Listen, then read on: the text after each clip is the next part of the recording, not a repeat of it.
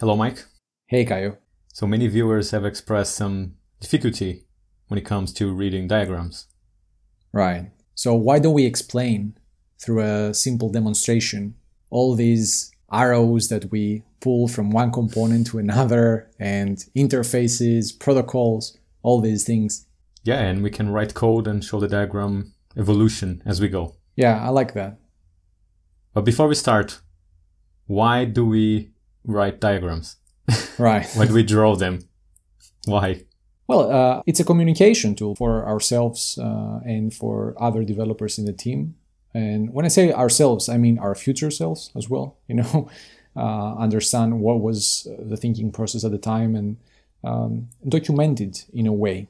The other thing that I like about diagrams is that you can validate your design decisions because you can see what module uh, talks to what module, for example. So it's easier to see the dependency graph Right. of your objects, of your classes, or even your functions if you're writing some functional code base. Absolutely, absolutely.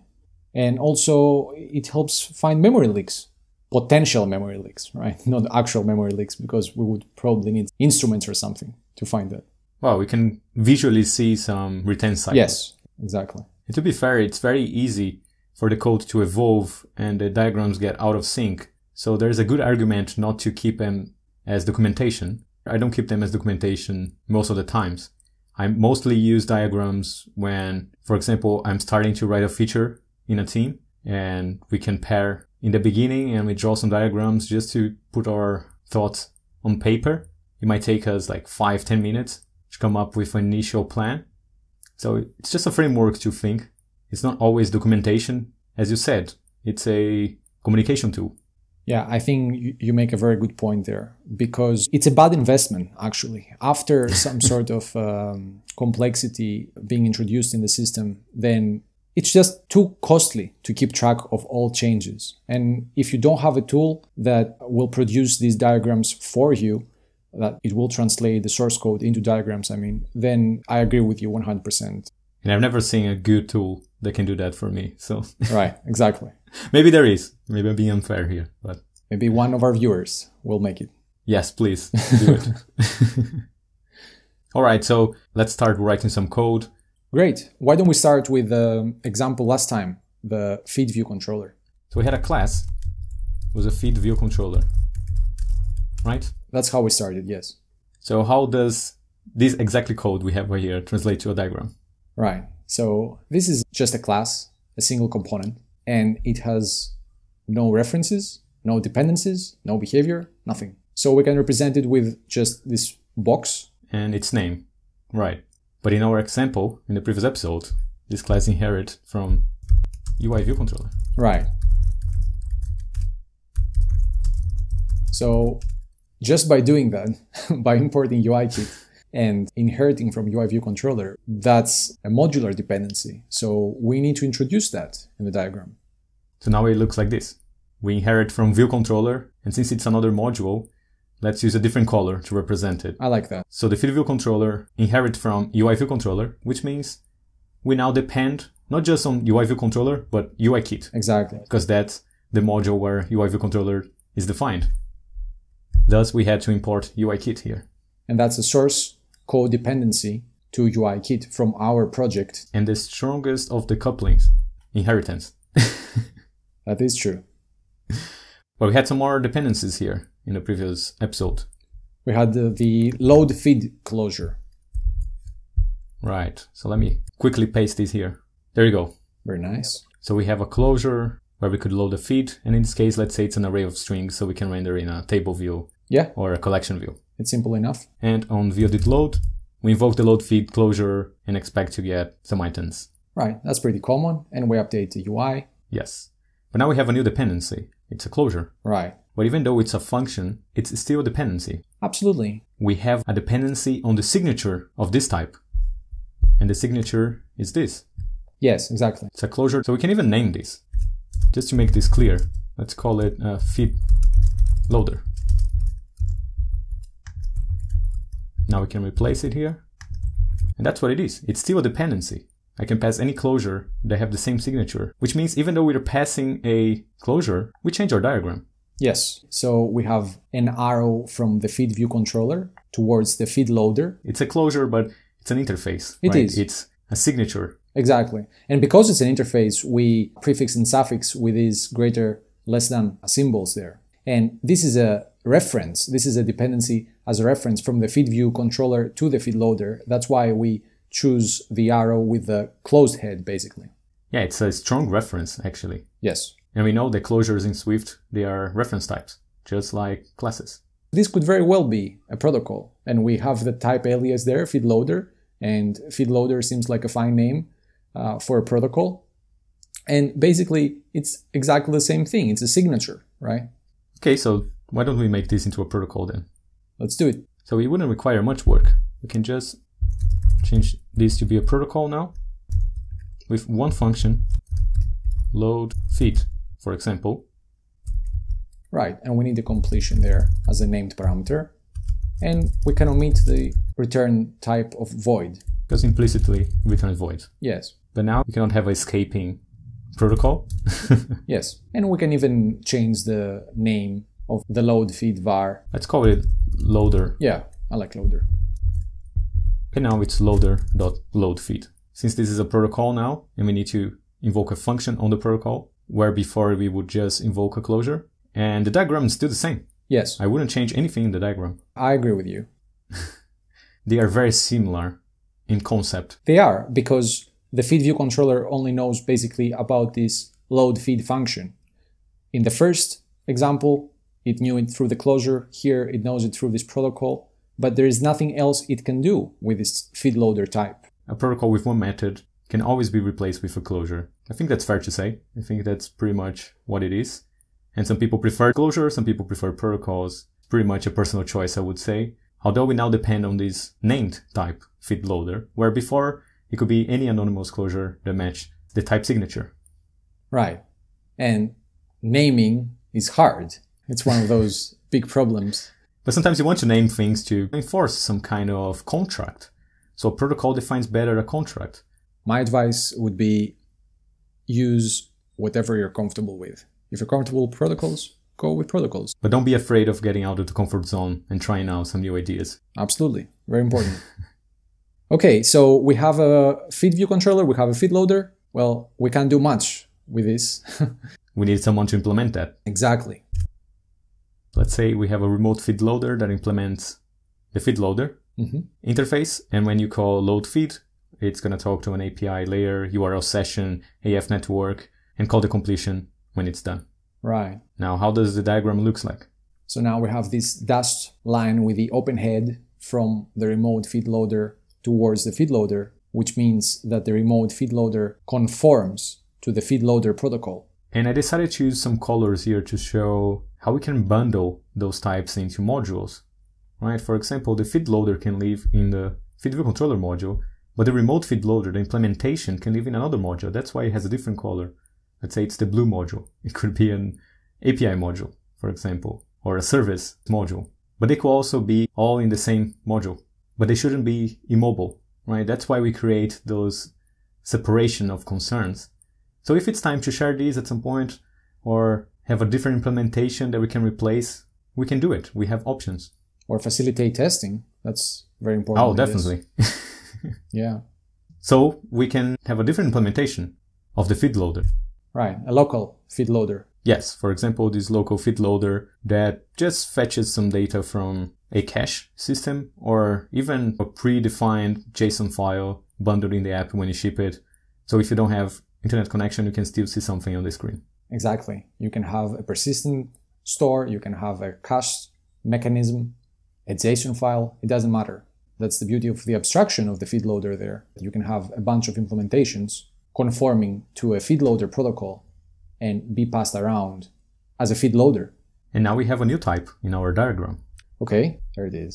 the local feed loader. That also implements the feed loader interface. It conforms to the feed loader interface and it can be in a separate module. That's why it has a different color, but you can have everything bundled in the same module. But we have options. Absolutely. Now, imagine that your boss comes to you and say, I want you to always try to get the latest version from the remote, but if you have no internet connection, I want you to get data from the cache. right. So I think that's a that's a very reasonable requirement and it's often the case on iOS. It's a good user experience. And there's a bunch of ways we can do that. Yeah. Right? For example, some people might have some logic in the remote feed loader and say, you know what, this separation of concerns didn't work. I should have only one type that does everything. Right, and then you break the single responsibility principle most probably. Yes. And maybe that's that's fine for you, right? But we often see cases where there are different approaches to the problem. Yes, it will be easier, not simpler, right? Yes, and I like the easy versus simple comparison. Because for example, an easy and often used approach is to change now our view controller to depend on the concrete types again. So right. for example, instead of talking to an interface, we now depend on concrete types. And then we need to introduce some sort of logic in the view controller to know which one we should call and when. So let's say if network is available, we use the remote one. Otherwise, we use the local cache. So now we make this code more complex rather than simple, but that was an easy change because you very quickly can do this change and move the tickets to done and move on. Absolutely. Let me just introduce the reachability stub just to compile this. Cool. So there you go. There was an easy change, fulfill the requirement, move on. Now we have two dependencies. They are both concrete and code is starting to get more immobile because every time there is a new requirement, we're going to come here and add more if statements more logic, and very easily this view controller is going to be a thousand lines long, and everybody is going to be afraid of changing it. And our diagram now looks like this, which looks easier. We have less things, but I don't think it's simpler because it's not simple to change this anymore. Yeah.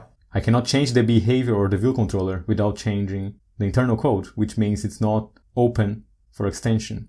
Yeah. We're going towards rigid town here. so how can we go back and have the feed controller depending on that interface, but still have this new behavior? Right. So we can use composition.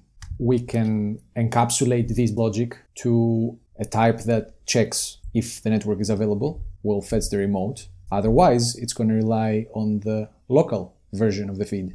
So let's do that. And I'm going to undo the changes here. So we are back to having just the loader interface, but now we're going to add a new type. Right. So we move the same logic we added in the view controller, but now into a service. But again, how can we make the view controller talk to this service? We have to go to the view controller and change it if it's a concrete type like this. Yeah, the view controller talks to a feed loader. So if we make this remote with local fallback feed service conform to the feed loader protocol, we can then plug it to the view controller, and the view controller remains agnostic from the provenance of the feed. And the remote feed loader also is agnostic of this, and the local feed loader is also agnostic of those types. Absolutely. These types are isolated and they can be tested isolated. But here we can compose them into this new type and separate the concerns throughout the system. So to do it, we can transform this service into actually a loader that also implements the feed loader interface I like this change. It reflects the intent of the class based on the feed loader protocol. So what it does, it, it composes these two concrete types. As you can see, we are using the concrete types here to make sure we have the expected behavior. The compiler is going to help us here. So now, how does this look in the diagram? Seems scary. As you can see, the remote with local fallback feed loader implements the feed loader and it depends on a remote feed loader and a local feed loader. Everything else hasn't changed. Yes. Which means the view controller has no idea of all this logic, which means we changed the behavior of the code without changing the view controller. We added a new way of composing these things. And I really like that because the feed view controller, it doesn't know where the feed is coming from and it doesn't care. And how easy we can test now the feed view controller there. Yeah, we can test everything here in isolation, which is great. And we can use the type system to help us compose those types together and if you think this is a property of protocols, no, it's not. You can do the same with closures. Yeah. I'm very happy with this design. We can even simplify this code here. We can just forward the completion blocks. For example, and we can keep changing the implementation of these until we are happy with it. Let's say we have a load function that depending on the network state, we do one thing or the other.